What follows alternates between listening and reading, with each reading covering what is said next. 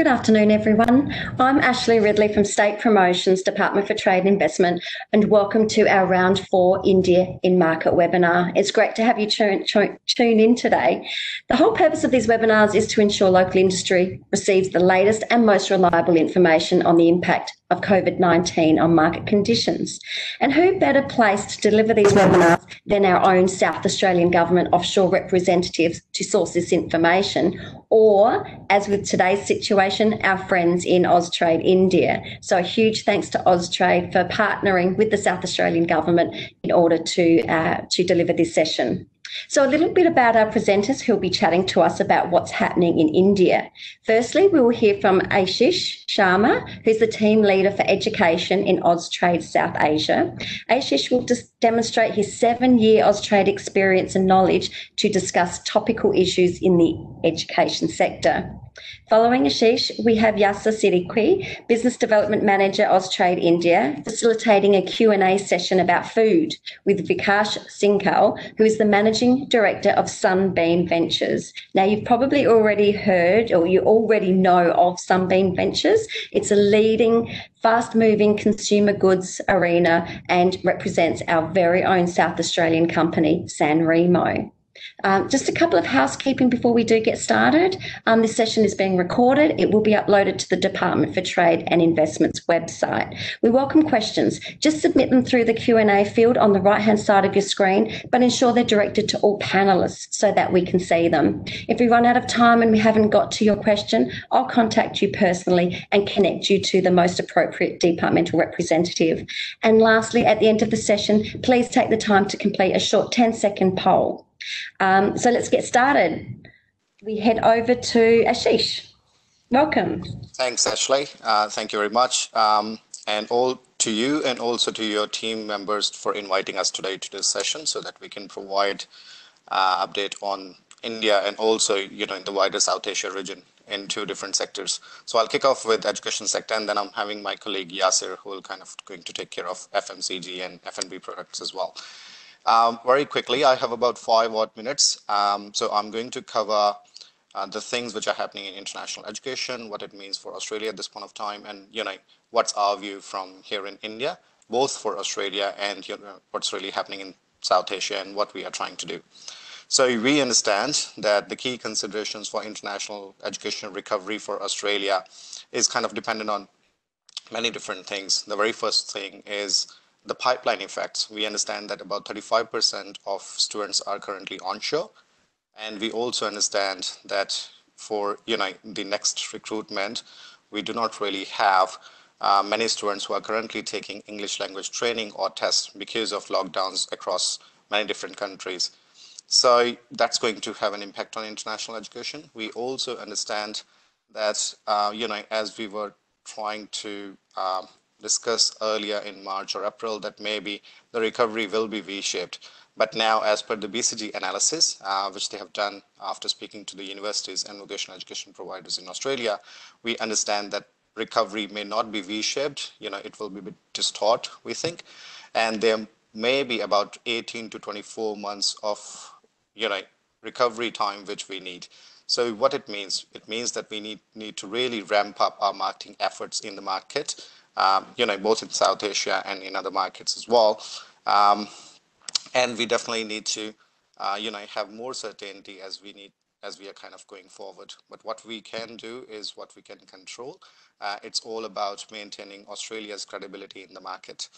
We understand that there are major interdependencies uh, when it comes to recovery of international education in terms of visa, air travel, what sort of quarantine facilities are going to be there in Australia, and also part-time jobs because you know at this point of time, students uh, from many different countries and primarily from South Asia are looking at how economies are tracking and whether there will be part-time jobs because you understand that many of the students once they land in Australia they would like to do some uh, you know part-time jobs along with their studies as well. We understand the pain of the universities and institutes. Uh, we do know that there are high fixed costs for our Australian education providers. Uh, and there is huge dependence on international education. So I would like to assure you that Australian Trade and Investment Commission, along with many other government agencies and state agencies, uh, from South Australia, we are trying our best to contain the risk at this point of time. The last but not the least, we understand that vocational education and training will be critical to develop the skills for post-COVID economy. But the challenge at this point of time is to, you know, restart the courses back in Australia. The support for international students, I'm not going to kind of talk more broadly about that. You all are currently based in Australia. You very well know uh, the Commonwealth assistance which has been given to international students.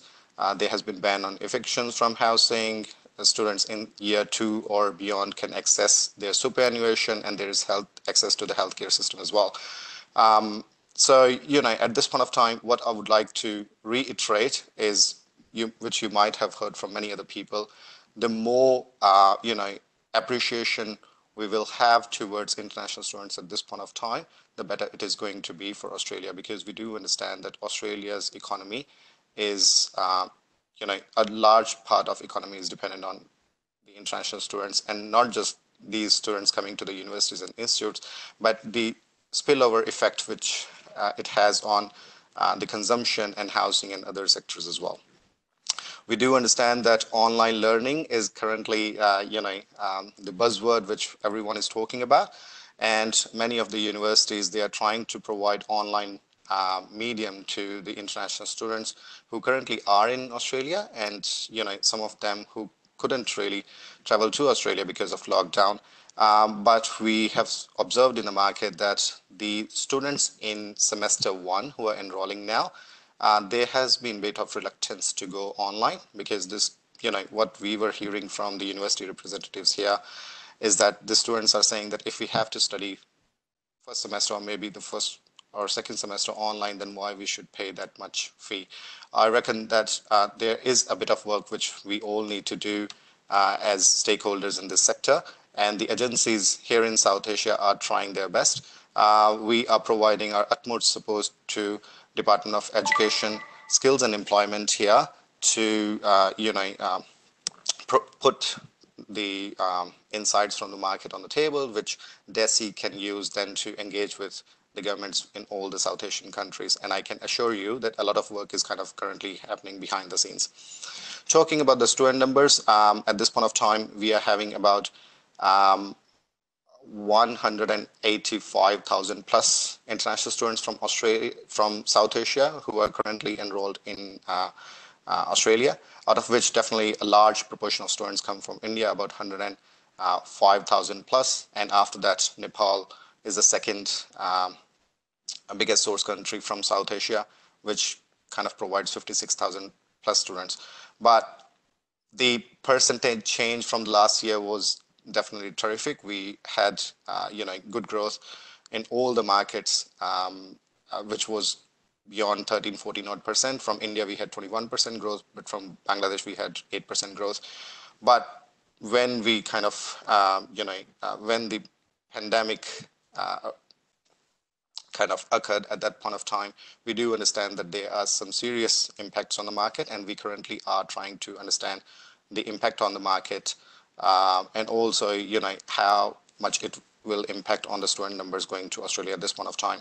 But the numbers which I have, um, you know, quoting DESE's number here, um, we understand that in the first semester, about 2,470 students have uh, deferred their studies uh, from India, and about 683 students have deferred their studies from uh, Nepal as well. Now, looking at the markets, uh, you know, there has been numerous uh, surveys which are going on. I was looking at some of the QS top universities survey, um, which first came up in March and then again came up in May. Um, and the numbers, or you know, are not really that great in terms of um, what the students are thinking. Uh, a large proportion of students are thinking to defer their semester, uh, or if possible, look at um, you know options of studies at home, or you know if they were looking at country X at about six months ago, now they are looking at you know country Y. But I can assure you that Australia is managing its reputation the way Australia has handled COVID crisis.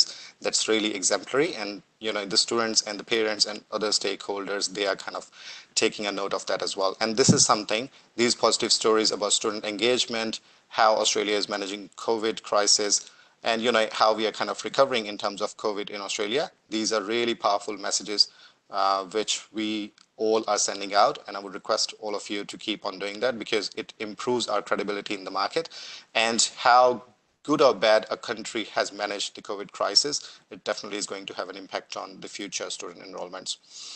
Um, one of these surveys which an education consultancy has done here in uh, South Asia, I would like to quote that. The three biggest challenges which they have observed were uh, uncertainty around intake or visa was the topmost concern. The second was around how a particular university has managed uh, COVID crisis and what particular uh, uh, you know safety measures they have put in place. That was the second biggest biggest question from the students and the agents.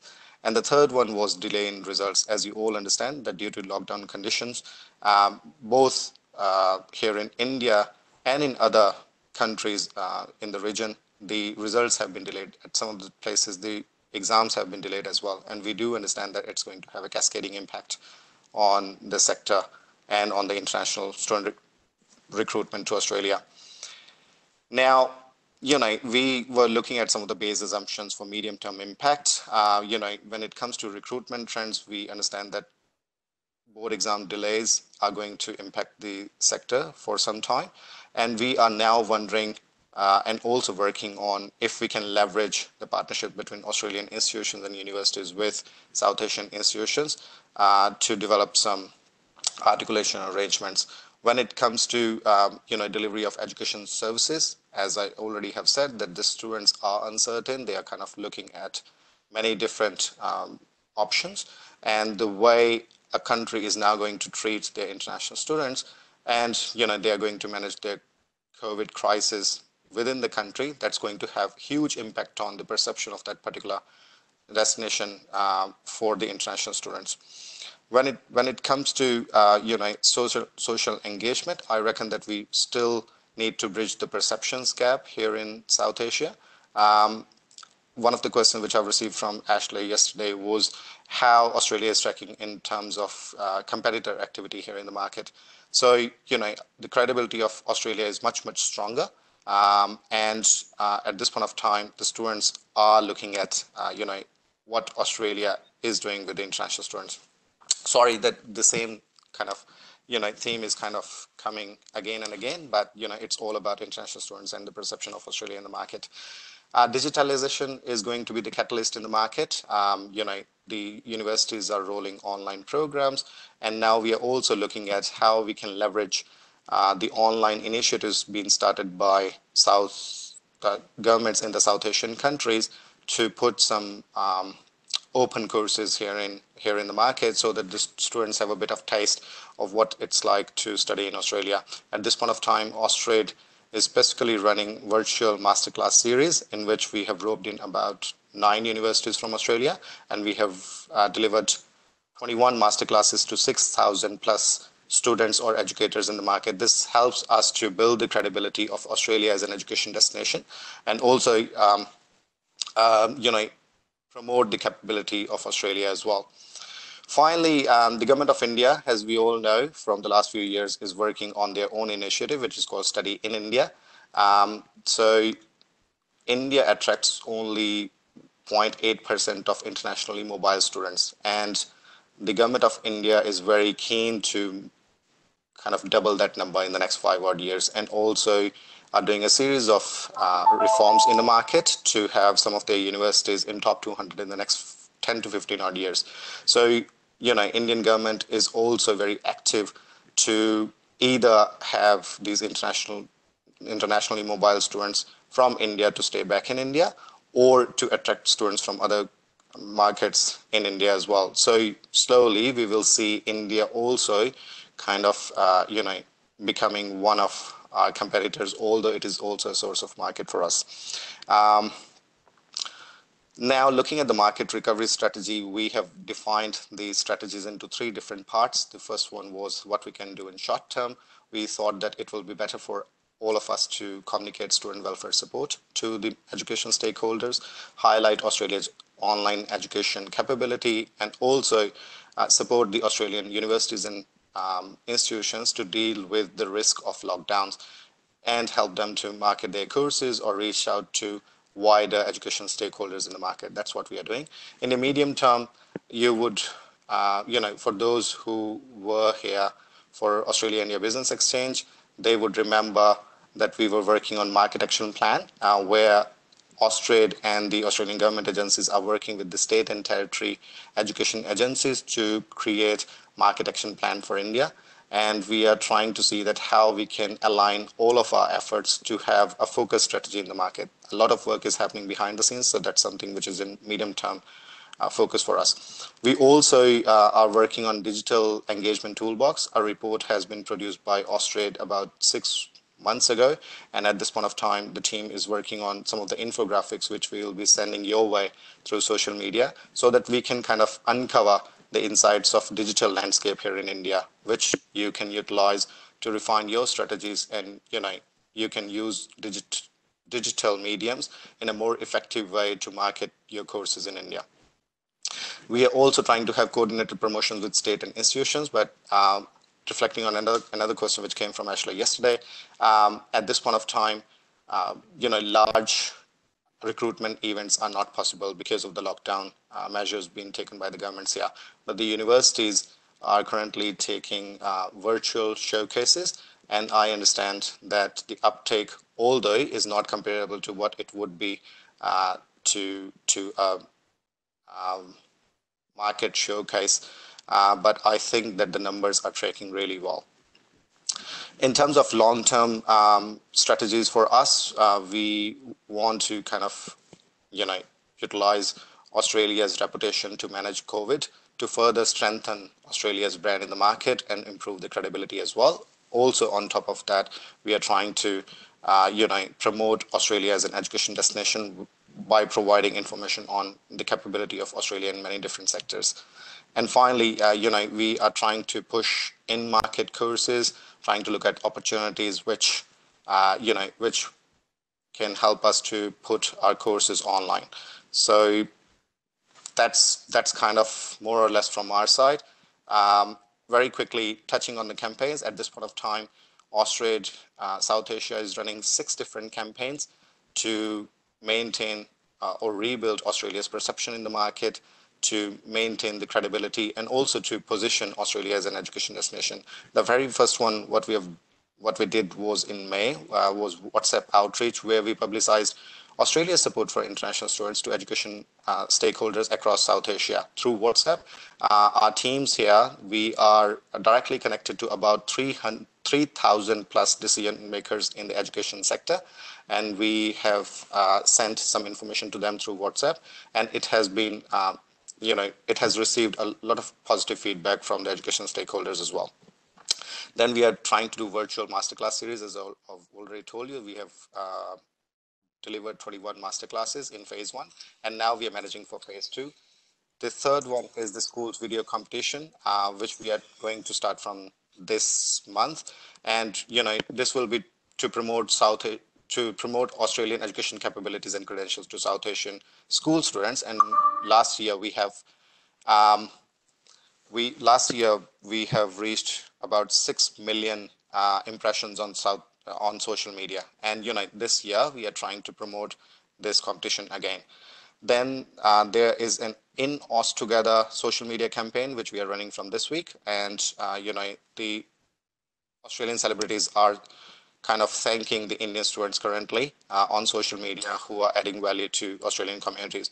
Very quickly, the last two campaigns, we are also putting a number of LinkedIn articles uh, for you to for you to understand uh, what's really happening in the market, the changes in the environment, and what it means for you. So please watch out our LinkedIn space there as well. And finally, Digital Toolbox campaign to help you understand digital landscape as a whole. So that's it from my side. Um, I know that I've taken about 12 odd minutes, and I'll now hand over to Yaser for further uh,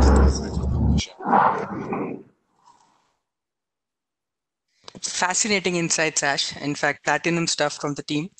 Uh, thank you, Ash, uh, for, for for giving this insight. Good afternoon, South Australia. Uh, today, I have the pleasure of interviewing one of the leading food importers in the country, for introduction, uh, Vikash is the managing director of Sunbeam Ventures, headquartered out of South India. Um, Sunbeam Ventures has their origin from 1974 and started as a commodity trading business, which has now evolved into import and distribution company uh, with distribution network across uh, India. The company represents several international brands, um, including Sanremo from Australia and also Rafferty Garden, Rafferty's Garden from Victoria. Well, Vikash uh, is a postgraduate from India's prestigious Indian Institute of Management and uh, and is a prolific writer. I have read uh, some of his articles, and most importantly, he's a good friend of Australia. A very warm welcome, Vikash. Thank you, Yaser, and good afternoon to everyone in Australia from here. Uh, well, Vikash, uh, I'll throw some rapid fire questions to the side. Sure. Uh, perhaps uh, my first question, which is I think the, the need of the hour, how do you assess the impact of lockdown on food imports in India? And what are you hearing uh, uh, on when the retail segment will revive to the earlier levels? so I'll take this question in two part, Yaser. First, I'll speak about the lockdown in general what we have seen is that uh, the lockdown in general across the world has resulted in a slowdown in the economy as well as various sectors. Some of the sectors like hotels and uh, restaurants have um, actually come to a standstill, whereas um, the retail is still functioning at the moment. So, um, and uh, specifically uh, for the food, the second part is that thankfully, food is one of the essential commodities uh, which is required. So it has not been hit as luxury goods. So food is doing well. And uh, in fact, uh, if we see the sales happening, for some of the products, the sales have actually uh, become 3x from what they were earlier. Uh, essential commodities, pasta, different kinds of, uh, you know, kits uh, ready to prepare at home, uh, immunity booster products, all these sales have shot up uh, very, very uh, drastically. But uh, on the other hand, uh, what we have seen is the luxury goods, things like high end chocolates, things like probably indulgent biscuits, and you know, the impulse goods. The impulse goods sales have drastically dropped. So uh, it has been a mixed bag for the food industry. Um, but yes, I would say overall our sales have dropped a bit, but it has been uh, not so bad as the other sectors. Uh, coming to retail, uh, what we see is that uh, retail is still functioning, but uh, earlier we used to sell our products in maybe 400 shops in a particular city to get, let's say, X volume. Now we get uh, 0.7X, but only from 10 to 20 shops. So what we have seen is the concentration of retail happening. Some of the shops which are open have uh, said uh, the sales have increased almost 7x. Yes. Thank you. Uh, thank you, Vikash. Um, another question is, what uh, what are the what are the I mean, uh, what are significant imported products? Which which are the categories you see will, and which of them, as you mentioned earlier, uh, uh, high-end chocolates, etc., would have a low priority. So, can you elaborate on the more traction uh, categories? Yeah. So, what we are seeing is that uh, consumers are spending uh, a lot of time at home, either working from home or prepping to stay at home rather than office, as compared to earlier also they are not uh, so very open to going out to restaurants and having food. But uh, they would definitely like to have the foods which are which they have normally at restaurant at home also. So things like you know if you have a ready to prepare kit um, for example we import uh, ready to prepare kits uh, from thailand for maybe the thai green curry and the thai red curry which they can prepare in a uh, few simple steps. So we are seeing that um, this has uh, very significant uh, growth in sales. Um, similarly, we have uh, other products. Uh, what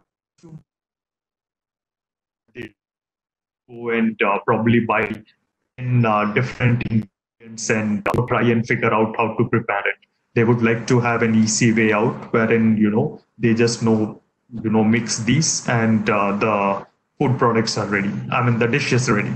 So we are seeing significant uh, traction in that. We are seeing uh, significant uh, growth in pasta, but I think uh, that's all over the world.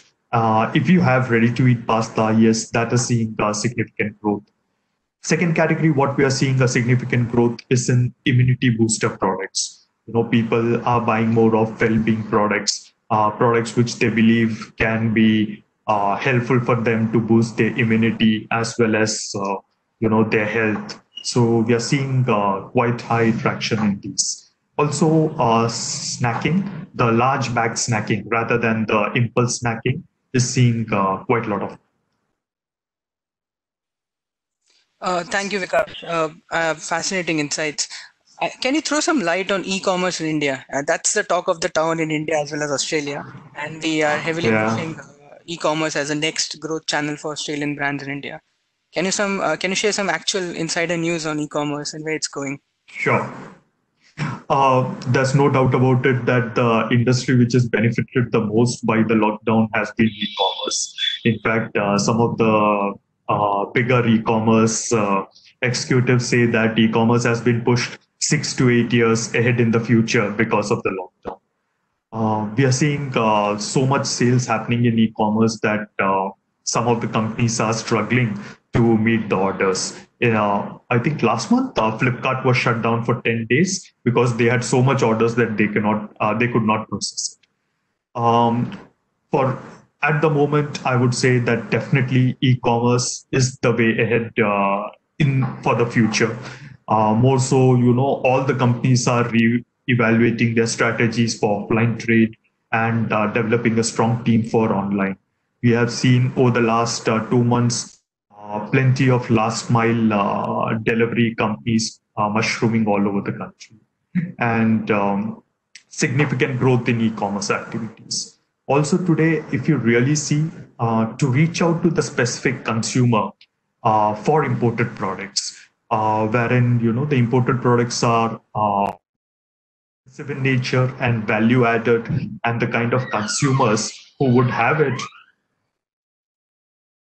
which would uh, more likely to buy in the e-commerce or from uh, online shops. So to reach out to them today, e-commerce offers the best uh, return for every penny spent. So yes, for all the Australian companies out there, I would say please do look at e-commerce as a major tool uh, in India for both uh, letting your brand be known to the consumer and also for sales. Uh, Thank you. In fact, to supplement that, e-commerce is now a unified platform to reach out to consumers across India. So that's how we are also pushing. In fact, we have an Australian store on Amazon India, which is doing quite well. And we are finally back now delivering all the non-essential items to, uh, to consumers. Um, a a trick question for you. Can you uh, can you share some top line on the food regulations and labeling standards? Has it improved, or do you see more scope of improvement? Well, um, I think uh, food regulation standards in India, you know, were uh, issued maybe four years ago when uh, they had come out with new rules, which were a bit uh, strict on all of us. Uh, but over the last four to five years, uh, there has been a lot of dilution in these rules, a lot of exceptions being made. So, uh, I mean, food laws are now more easily adaptable by the companies exporting from ab- abroad. Um, there are some mandatory requirements which uh, we have to meet uh, for uh, importing all the products in India. For example, the manufacturer's name address should be there on the product, the batch number should be there, uh, the best before dates. So, most of these are things which uh, normally you would find all over the world. But then uh, there are some specific requirements which should be there also on the product, like the green dot, which signifies uh, vegetarian product, or the red dot, which signifies uh, non-vegetarian uh, ingredients being used in the product, and uh, also the importer's name, address, and uh, various other details uh, like uh, like the declarations in case of synthetic colors used. So all these also need to be met, but these could be applied by sticker. So uh, there have been, uh, you know, quite a lot of relaxations in the rule, which makes it easier to import in India. But um, also, you know, there are a lot of gray patches in the uh, ingredients. So, you know, I would definitely advise company to ensure that they comply with all the rules before it's actually imported. Well, how should a new South Australian exporter with no um, no no importer or no distributor present in the market should approach the market? What is the first golden rule you think uh, uh, any any Australian South Australian exporter should uh, should think of? Well, uh, I think uh, the first rule is Yaser at Austrade. I think that's the best way to get into India. but uh, you know, on a serious note, I think there are two approaches which normally exporters take for India one wherein you know they look uh, India as a source of additional revenue wherein uh, you know they are selling all over the world or uh, in Australia, and whatever sales come from India uh, is additional. And the other approach is where they take India very seriously as a market wherein they want to develop, they want their brand to be present, and uh, have a significant uh, sales in India, maybe let's say three years down the line. Um, in the first case, yes, uh, you know, Australia has been doing a fantastic job in India. As uh, Yaser mentioned, you know, that uh, they are the first ones to have an Amazon e-store. And um, apart from that, they have been uh, in very, uh, I mean, they are always uh, heard. Let me put it like that. Austrade, among the importer community, Austrade is always there in top of the mind recall among the few trade departments from countries. So Austrade has done a very good job, and you can contact Austrade to find out good importers in India and uh, you know do business with them. But yes, if you're looking at the second option, and I would uh, very strongly advise companies to look at this second option because huge uh, potential. So I would uh, definitely say, you know, it would be good to be in touch with Austrade and also to come down yourself have a look at the uh, Indian market, research the Indian market, know exactly what moves, what doesn't move, what are the consumer habits, how you'd like to position your product in the minds of the consumer, and then launch your product. And do uh, back it up with uh, significant uh, marketing and promotion support. Uh, there is a very good potential that down the line, you know, you will get very good volumes. I mean, there could be uh, an uh, eclipse of the volumes which you currently do in Australia as well. I mean, you could do more volumes in India than in Australia. But uh, let me also put a caveat to that because you know a lot of people are um, attracted by the Indian middle class and they you don't say that India has got uh, 1.4 billion population and such a big middle class and you know we have a huge market out here yes, India has a significant uh, middle class and a middle class which has got a growing purchasing power. And uh, yes, there is uh, significant sales which you can get.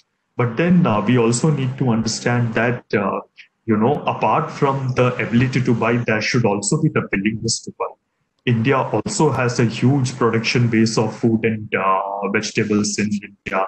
They, um, most of the people are familiar with the Indian taste, and uh, tastes which are from abroad are alien to them. So, you know, to get them uh, to buy the products is also the challenge. So, we need to change habits. We need to change uh, the tastes of the people, and that's when uh, that's where the challenge comes, and that's where we need to work on to improve their sales. Yes. In fact, for us also, we, we don't target India as a 1.3 billion population. For Australia, I think it's only 60 to 100 million people who who drink a wine, who go uh, Australia for tourism, and send their children for overseas for education. Uh, my second last question, since you're running out of time, I have plenty of them though. Can you throw some light on how San Remo is doing in India, and uh, what are the what are the different things you're doing with San Remo in the market? Yeah, but um, so San Remo has two brands. One is San Remo and one is Biondi. So um, with San Remo, we position the brand as premium coming in from Australia. Um, so we say made with 100% uh, Australian wheat. And uh, we try and position them into the premium stores, the A-class uh, stores.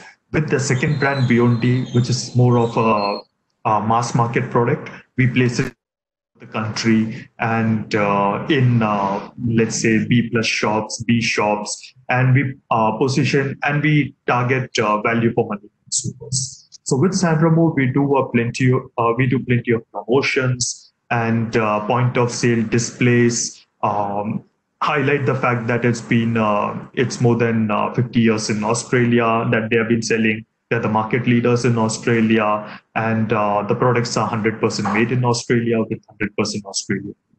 So we try and highlight those facts.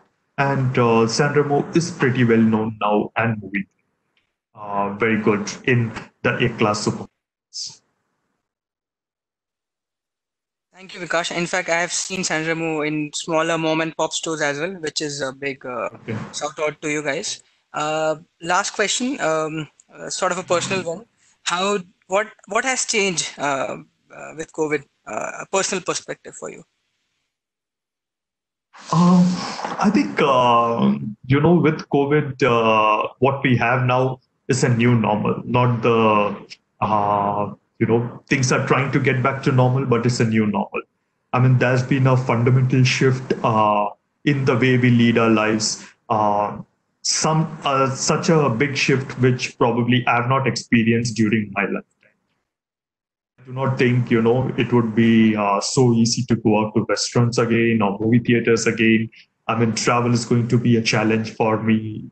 I've always used to be traveling for 20 days in a month. So um, the first question everybody asks me is, you know, how come you're stuck at home? And how are you, you know, coping with that? So uh, yes, it's going to be a very challenging uh, one.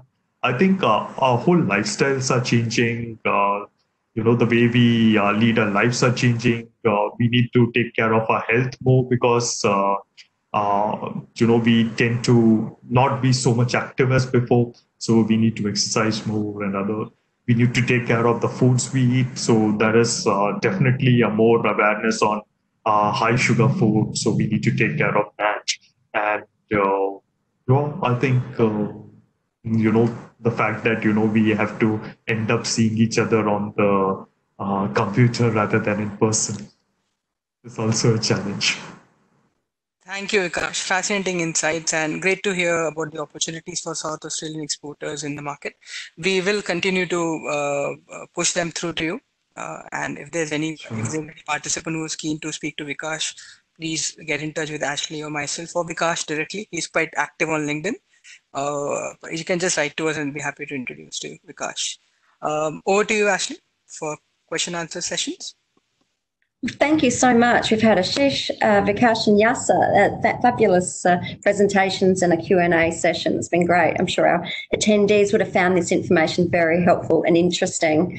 Um, Ashish, we do miss our international students and we do look forward to welcoming them back to South Australia soon. So let's hope we see some uh, friendly faces in our state. Um, Ashish, we have, so to our viewers, perhaps I'll, just remind you that there is a Q&A function to the right-hand side of your screen. Submit any questions. It doesn't have to be about education and food. Um, Yaser can, from Austrade's perspective, can, can answer any questions on any sectors. So it doesn't have to be specifically related to education or food. Um, but uh, Singh has um, has mentioned, uh, made a comment, so to speak. So I might throw this over to Ashish. Um, uh, Shaka is an education consultant for the Indian subcontinent in TAFE SA here in Adelaide.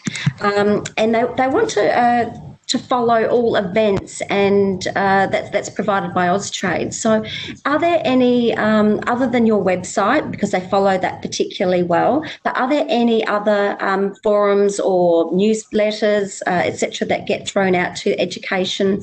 Um, or people in, uh, interested in education? And also, are there any upcoming major events that they could be part of, maybe virtually even? Sure, Ashley. Thanks for the question. Um, you know, at this point of time, although we are pushing a lot of market update through our website, um, but there is a specific newsletter called Market Information Package, which goes out every Wednesday to all the Australian universities and institutes. As you have mentioned that Shika works for TAFE SA, so TAFE SA already has subscribed to the newsletter. Uh, if she can talk to her international department, she can take those credentials and very well, uh, you know, um, can access that uh, newsletter through our website again. Uh, on the website, on that particular newsletter, we kind of push all the opportunities all of our global offices and the main events. Um, and you know, from the same newsletter, she can also register for these events. That's great to hear, Ashish. Um, and maybe we can do something together in the near future, um, run a virtual event, so to speak. So that's something that we could certainly um, look into. Um, Vikash, I've got a question for you. How is the supply? How is the supply chain doing now? Are ports operating normally? Yes, normally, but uh, there has been delay in uh, clearing the goods uh, because obviously, you know, uh, everyone is not coming to the office and uh, things are taking a longer time. Uh, people are not there to unload the goods and and also there has been quite a big backlog because over the last one month uh, that was a shutdown, so things were not clearing uh, immediately at that point. But um, the delay is slowly getting cleared, and soon I think things would be back to normal at the port. That's great. Um, so, a couple in regards to the food um, perspective. First of all, do you make assessments based on products? Are there, I see you represent such high quality brands. Um, for our South Australian companies, uh, I'm sure there's a bit of an assessment process perhaps for you to, to represent them. What's involved? Well, uh, typically, uh, when I look at a product, uh, I would uh, look at uh, the the potential for the Indian market, the willingness of the Indian consumer to buy the product. Uh, second, I would also look at the willingness of the Australian company to be involved in the Indian market. How much uh, they are willing to, you know, how much they are open to uh, working in India, understanding the market, adapting themselves for the uh, Indian market. So those are two of the most important uh, things which I would look at.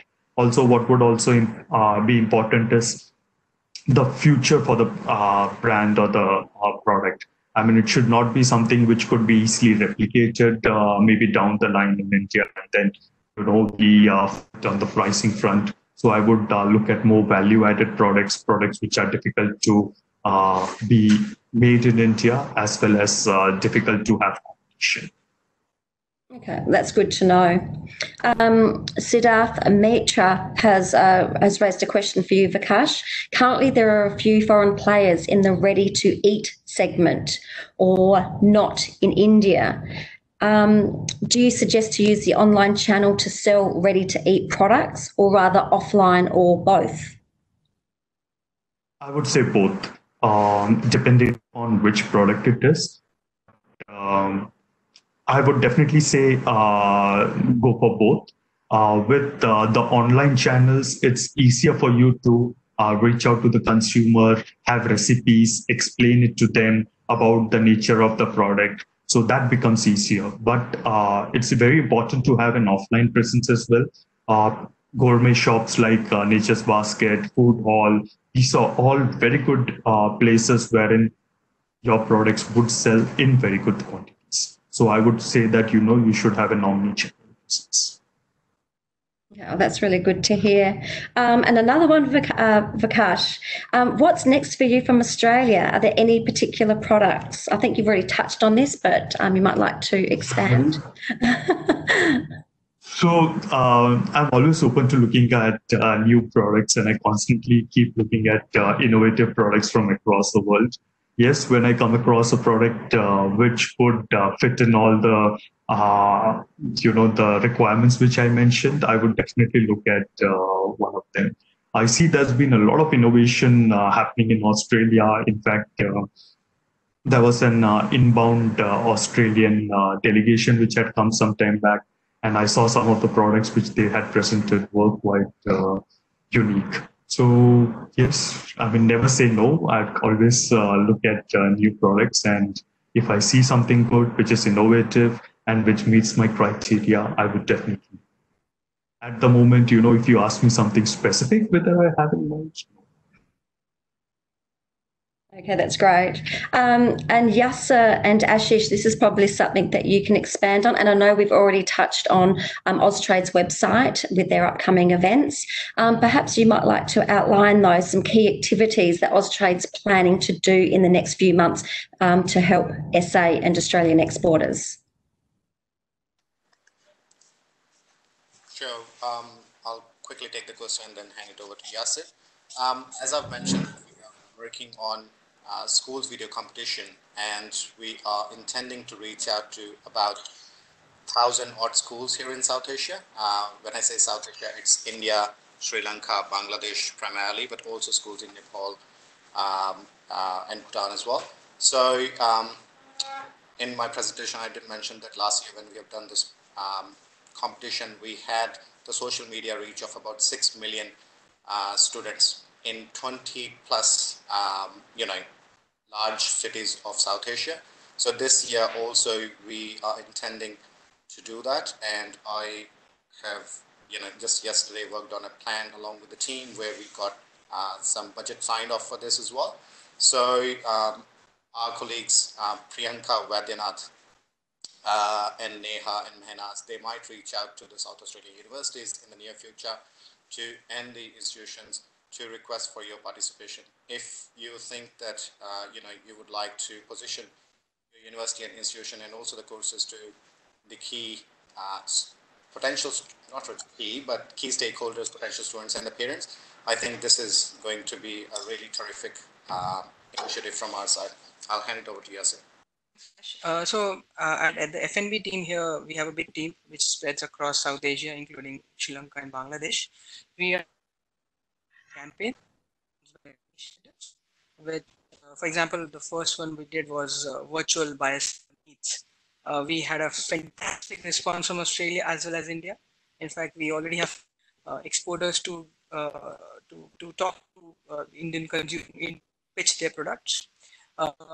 Apart we are we have since i mentioned we have a big team if there's any south asian exporter who's looking to individually with them and perhaps outline the opportunities for them across the region.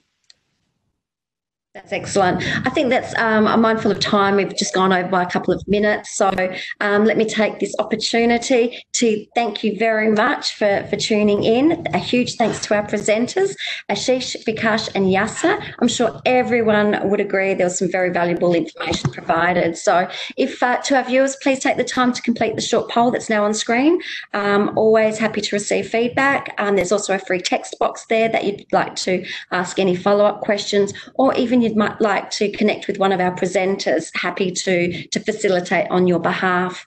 Um, and lastly, head to our website, dti.sa.gov.au